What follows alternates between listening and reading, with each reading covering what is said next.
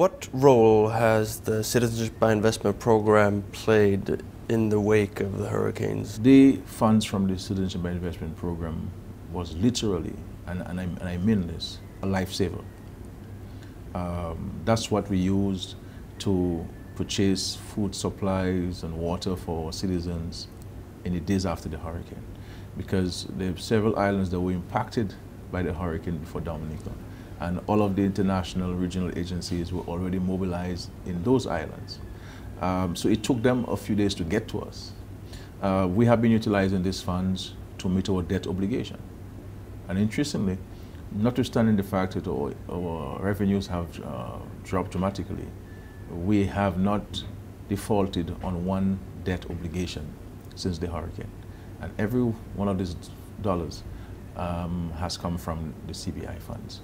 Uh, we have used this to pay salaries of our public servants, uh, to maintain uh, our social safety net programs, because you know, after a hurricane, you have to be even more uh, guarded of your social safety net programs for fear that um, people may fall back into poverty. Uh, it has been used to, to fix homes, uh, to build new roofs. It's been used to build new homes for citizens. So the government has decided to create uh, an employment program to engage about 1,200 of our citizens and residents who would have lost their jobs um, since the hurricane.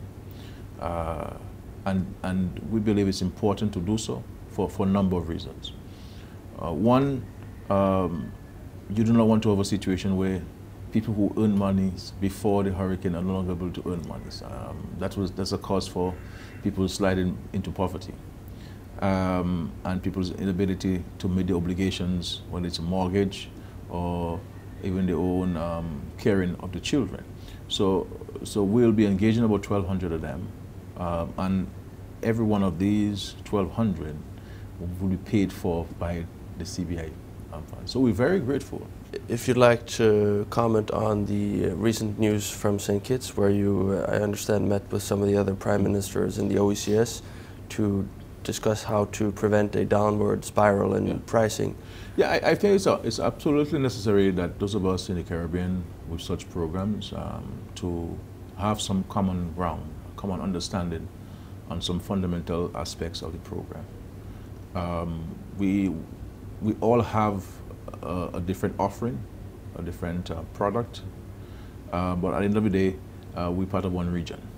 And um, there's a lot for all of us to benefit from. Um, obviously, maybe in different proportions, but certainly enough for everybody. So I think there's some things that we need to agree on. One is should we not have um, uniform legislation. You know, we have, we have uniform legislation in a number of aspects within the, within the region.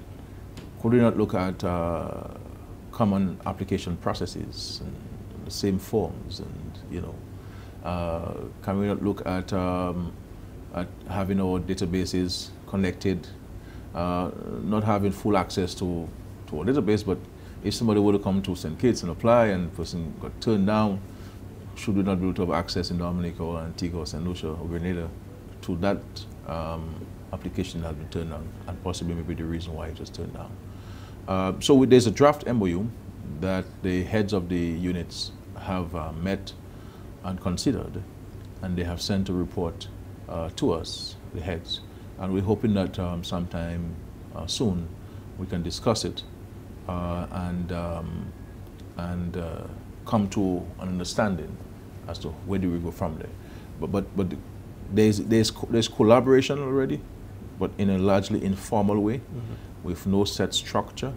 Uh, I believe that the MOU set that framework for collaboration and cooperation. And uh, my, my hope is that we can conclude on this very soon. It, it will benefit everybody, um, to benefit everybody. So, in, in, and, and it, it, also speaks to pricing. Um, what is the the lowest rate you can go uh, in any one country. You know, um, so that will set the, the, the floor on, on, on, the, on the pricing system. You know, uh, but we very, I think there is buy into it. There is a keenness on the part of all of us to, to arrive at a, at, at some understanding. So we hope we can, can, can get us going soon.